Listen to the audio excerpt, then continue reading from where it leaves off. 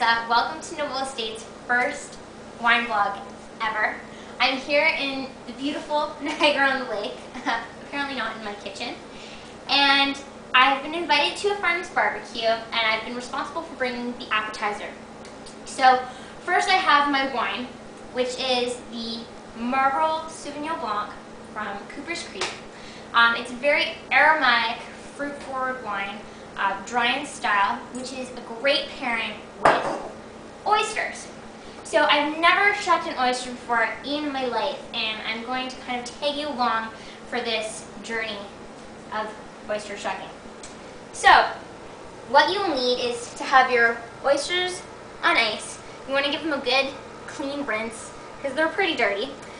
And there's two parts, I'm told, of an oyster. There's obviously a top and a bottom. But the part that goes down, there's a hole, and that's where you're supposed to stick the weapon. So, elements of a successful shuck. You need a safety device, a towel, and or glove. And the weapon, which is a shucker that is found at your local hardware store for $3.99. So what you're going to do is you're going to wrap the towel around your hand and you're going to hold it down on the oyster and basically you're going to press down into that hole and wiggle the top shell loose. So here we go. Trying. Try. Okay, here we go. We've got, we have contact. We have contact. Okay, so I guess you're just taking this top shell off and once the top shell is loose, you can put the towel down and basically just pry the rest of the shell off. And what you want to do is make sure that the muscle is not connected still to the top shell. Put that down. Hint, if the oyster does not smell appetizing, chances are it is not appetizing, so stay away.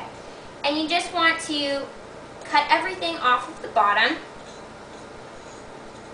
and make it in a nice little tidy formation in the middle of the shell. And there you go, a nice little oyster.